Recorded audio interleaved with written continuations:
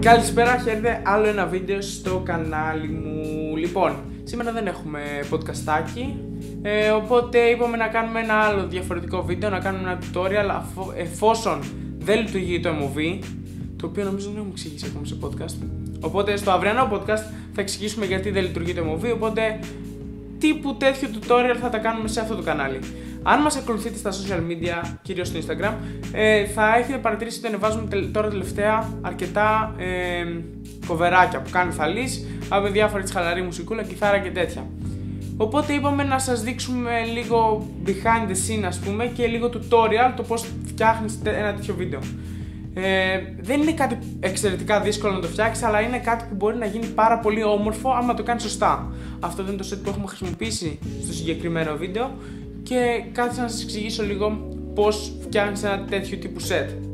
Λοιπόν, πρώτο βήμα και κυριότερο βήμα είναι να βρεις που θα, τι θα έχεις background, να βρεις το frame σου. Λοιπόν, οπότε παίρνεις την κάμερα στο χέρι, βλέπεις θέλω αυτό, θέλω αυτό, μου αρέσει αυτό. Στο συγκεκριμένο background, εντάξει, το έχουμε δουλέψει πολύ το συγκεκριμένο σπίτι. Είναι σπίτι μου, το έχουμε δουλέψει. Ε, το έχουμε δουλέψει. Ξέρουμε όλες τις γωνίες που είναι καλές για να τραβήξεις ένα βίντεο. Ε, διαλέγουμε αυτή τη γωνία που μπορούμε να παίξουμε αρκετά με τα φώτα πίσω μας και χτίζουμε πάνω σε αυτό. Α πούμε, εδώ είχε ένα γραφείο εδώ μπροστά. Χρειάστηκε να το μετακινήσουμε. Μερικές φορές θα κάνεις λίγο χαμούλι για να βρεις το κατάλληλο frame, ας πούμε.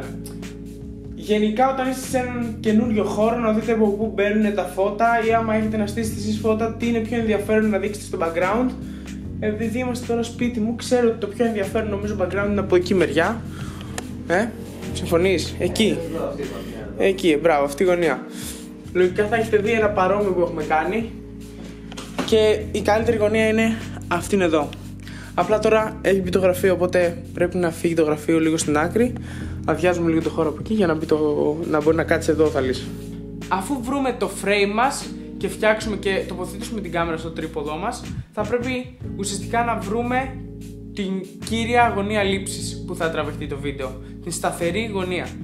Πάνω σε αυτή τη γωνία φωτίζουμε το αντικείμενο που έχουμε να παρουσιάσουμε, τον τραγουδιστή μας. Μπορούμε να επιλέξουμε διάφορους φωτισμούς, εγώ επιλέγω αυτόν που είναι λίγο πιο κινηματογραφικός ας πούμε, που είναι στις 45 γωνίες που δημιουργείται το τρίγωνο εδώ σε αυτό το μάγουλο.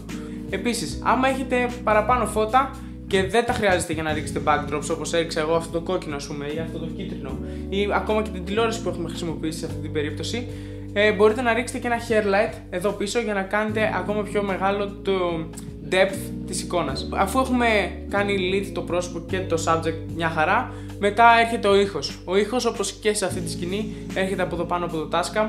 Έχουμε τοποθετήσει το Tascam έτσι ώστε να βαράει και να στοχεύει εδώ το θώρακά μου, γιατί ο περισσότερος ήχος έρχεται πιο πολύ από μέσα μας παρά από το στόμα μας. Ο ήχος που πρέπει να βγάλουμε δεν είναι μόνο του στόματος, είναι και ο ήχος από τη μύτη, από την εκπνοή. Οπότε το έχουμε τοποθετήσει εδώ πάνω να πιάνει όλο αυτό το μέρος. Για να το κάνουμε αυτό είναι λίγο πατέντα η φάση γιατί δεν έχουμε συγκεκριμένο boom pole που κρατάς το boom για να βάλεις πάνω το μικρόφωνο. Άμα θα το δείτε από τα backstage μας είναι πάνω σε ένα κοντάρι με μια κλείδωση πάνω σε ένα παλιό τρίποδο και το τρίποδο το κάνουμε, το μπαλανσάρουμε ας πούμε, με ένα βαράκι που έχω από βαράκια. Πώς είναι το art στα ελληνικά, τον καλλιτέχνη ρε μαλάκα. Καλό είναι ο καλλιτέχνης να έχει γράψει ήδη τη μουσική του και απλά εμείς να τραβήξουμε το βίντεο. Και τις περισσότερες δουλειές έτσι γίνεται. Αλλά στη συγκεκριμένη περίπτωση που είναι λίγο πιο indie low budget, ας πούμε, και δεν έχουμε ολόκληρη μπάντα να πρέπει να γράψουμε κάθε όργανο διαφορετικά. Είναι μόνο θα λύσουμε την κιθάρα. Οπότε μπορούμε να βγάλουμε τον ήχο και την εικόνα την ίδια στιγμή. Δεν είναι ότι θα βγει πολύ κακός ο ήχος, απλά δεν έχει μιξαριστεί σε κανάλια, δεν έχει μπει παραπάνω η φωνή. Δεν είναι σε κάθε take το ίδιο.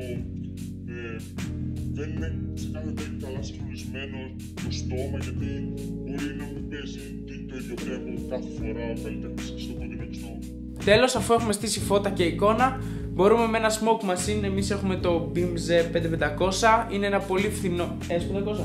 S500 είναι ένα πολύ φθηνό smoke machine που μπορείς να βρεις στο Scrooge ξέρω εγώ, για 30-40 ευρώ και κάνει πάρα πολύ καλά τη δουλειά του καθώς δίνει στα φώτα έτσι ένα haze. Οπότε μπορούμε να ξεχωρίσουμε τον καλλιτέχνη από το background. Μετά, tips για το βίντεο. Φυσικά είναι να μην τραβήξετε μια φορά το βίντεο, τραβήξτε δύο-τρία takes να έχετε να μπορείτε να δουλέψετε πάνω σε αυτά. Ε, μπορείς, μια, μπορείς στο πρώτο take, ας πούμε, ο καλλιτέχνης να είπε κάτι λάθος. Μπορείς στο δεύτερο take να μπερδεύτηκε λίγο η κάμερα, να κουνήθηκε. Ε, τραβήξτε δύο-τρία takes να έχετε. Τραβήξτε κοντινά. Τα κοντινά είναι πάρα πολύ σημαντικά να μπορείς να κάνεις ένα cut, να περάσεις από το ένα take στο άλλο.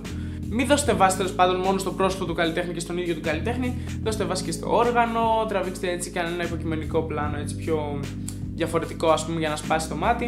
Θα σας έχω λικαρισμένα κάτω όλα τα κοβεράκια που έχουμε κάνει, είτε είναι το στο Instagram του Θαλή, είτε είναι διάφορα άλλα κοβεράκια, έχουμε κάνει αρκετούτσικα πλέον. Φυσικά να ξέρετε ότι ο φωτισμός είναι το παν σε οποιοδήποτε βίντεο, όχι μόνο σε ένα τέτοιο cover βίντεο κλιπ και να έχετε καλό φωτισμό και να απέχει από το background θα το κάνει ακόμα πιο professional. Αυτές ήταν οι συμβουλές που θα μπορούσα να δώσω σε κάποιον που θέλει να κάνει ένα τέτοιο κοβεράκι τώρα με στην καραντίνα. Πειραματιστείτε, κάντε μας tag να τα δούμε. Τα λέμε αύριο μεθαύριο με το επόμενο vlog.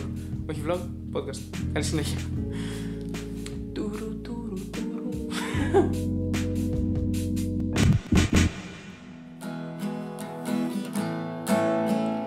Κομμάτια Σκόθηκες πάλι αργά πρισμένα μάτια Κίτρινα δάχτυλα, ξεχυλά τα σάκια. Τέρμα ο καπνός και τα χαρτάκια. Ζεσταίνεις χρυσινό καφέ, κουμπώνεις δύο χάπια. Και βγαίνεις έξω για τσιγάρα και φάει. Με τα πόδια Πόδια και μυαλό ξεπάνε χώρια Λόγια που σε κόβουνε στα δυο και λόγια. Λόγια που σε καίνε σαν χολή Και δεν τα θυμάσαι το πρωί. Και δεν τα θυμάσαι